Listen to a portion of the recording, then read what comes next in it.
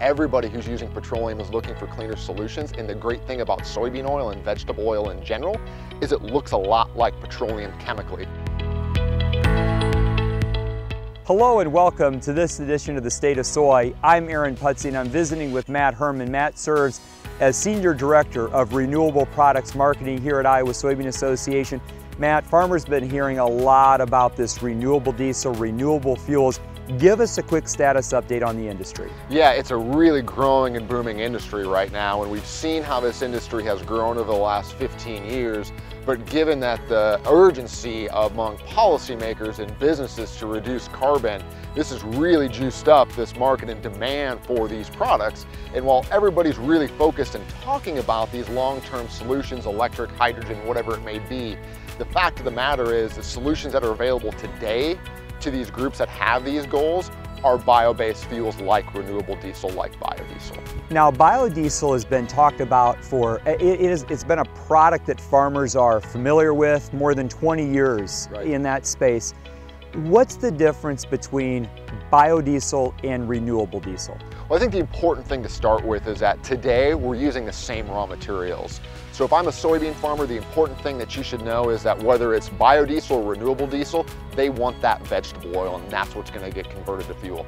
Ultimately, at the end of the day, there's some physical properties and some handling properties that are different. You know, renewable diesel can perform in a little bit colder temperatures. So if you're, you know, running a school bus and northern Canada and the Yukon in the midwinter, renewable diesel may be your product. But we can also make other things out of that plant like sustainable aviation fuel. So many companies, many brands have been focused on lowering their carbon scores, not only in over the road and in the manufacturing, but also now in the airline space as well.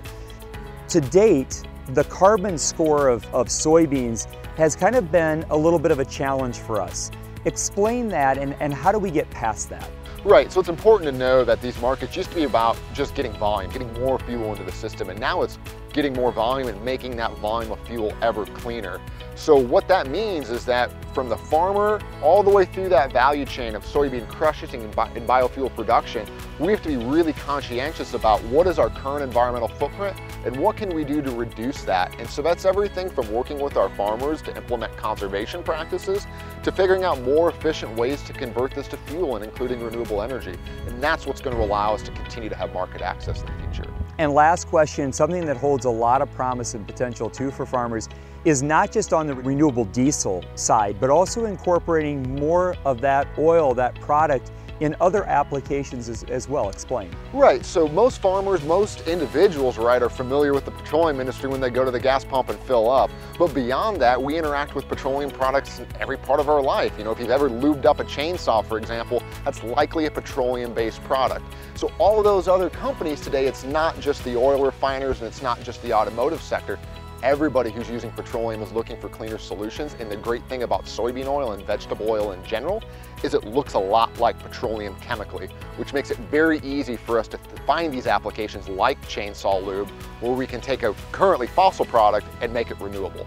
Marketing renewable products across a host of applications and places and spaces again holds enormous promise and opportunity for soybean farmers and is one more example of how Iowa Soybean Association is driven to deliver. Reporting for this edition of the State of Soy, I'm Aaron Putze.